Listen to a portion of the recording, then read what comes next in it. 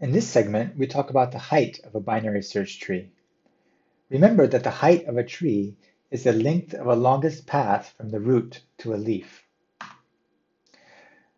We saw that the complexity of all the methods we discussed, contains, insert, successor, and remove, were all proportional to the height of the binary search tree. Thus, to understand the efficiency of these operations, it is critical to understand what the height of a binary search tree can be. The first question we have is, when we insert n elements into a BST, what is the maximum height of the tree? Say that we insert the integers 3, 7, 10, 15, and 22 into our tree, in that order. In this case, where the keys are inserted in sorted order, our binary search tree essentially degrades into a linked list. Every node has at most one child. The height of the tree is n minus 1, which is as large as possible for a tree with n nodes. Binary search trees do not perform well in this scenario. Now let's consider the opposite extreme. How small can the height be when the tree has n nodes? The best case is when every level of the tree is completely full. We call a tree with this property a full binary tree. This property is very similar to what we had in a heap where our tree always had all levels full except possibly the last one. If the height of the tree is h, then when every level is completely full, the number of nodes in the tree is 1 plus 2 plus 4 plus 8, etc., all the way up to plus 2 to the power h. And so the total number of nodes is 2 to the power h plus 1 minus 1.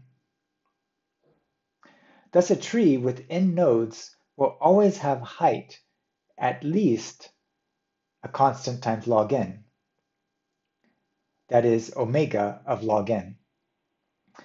This shows that the worst case complexity of our methods when there are n elements in the tree will always be at least a constant times log n. Here's a little puzzle for you. Say that we want to insert the seven keys, which are 3, 7, 9, 10, 12, 15, and 22 into our tree. And what order should we insert these keys so that we end up with a full binary tree? You can pause the video here if you want to think about this, for a minute. To solve this, we can note that in a full binary tree, for any vertex, the number of nodes in that vert vert vertex's left subtree is equal to the number of nodes in that vertex's right subtree.